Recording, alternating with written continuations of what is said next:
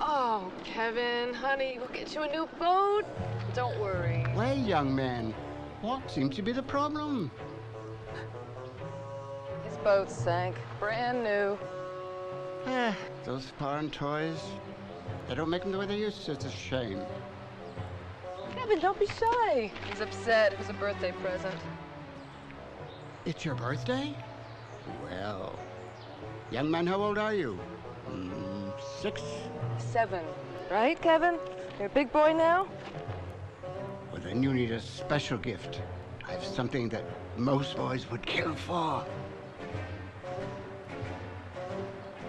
There you go. And it works too.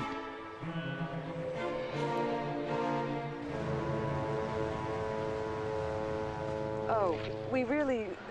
That's not necessary. Oh, necessary. please, I insist. It used to be mine. Well, I guess. What do you say now, Kevin? You say thank you. It's just shy sometimes.